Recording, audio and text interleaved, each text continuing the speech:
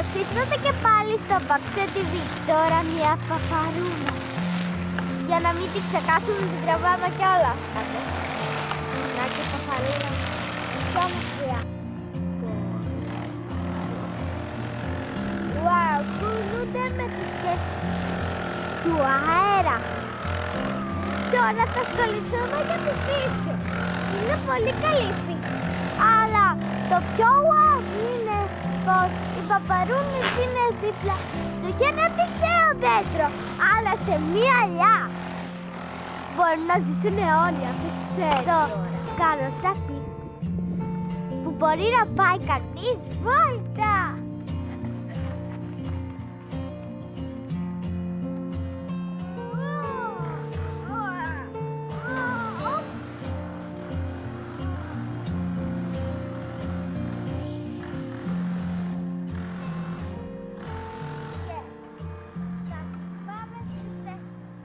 Να το ξέρετε. Κάποιοι μπορεί να μην έχουν δει κότες, αλλά από κοντά μπορεί να μην έχουν δει.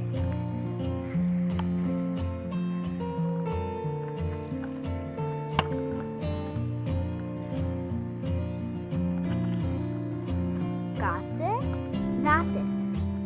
Είναι οι κότες. Ε, κότες, θα γίνετε διάσημοι σε λίγο. Γι' αυτό ελάτε από εκεί. Να, Μου άκουσα. Το πιστεύετε. Έλα, τσικολέτα.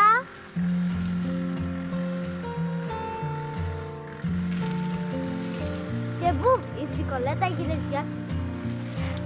Γιατί δεν έχουμε βγάλει ονόματα, επειδή είναι σχεδόν ίδιες. Κουακ, κουακ, κουακ.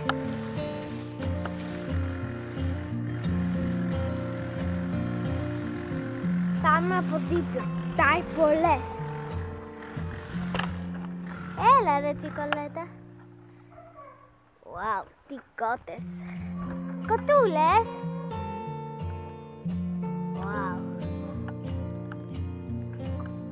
Α, και κίτρινο λουλούδι. Τι ωραία. Κότες.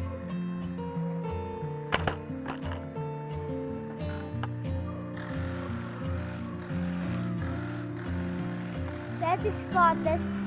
Φανταστείτε μια φορά να σε έχουν βγάλει 30 ευγά σε μία μόνο φωλιά.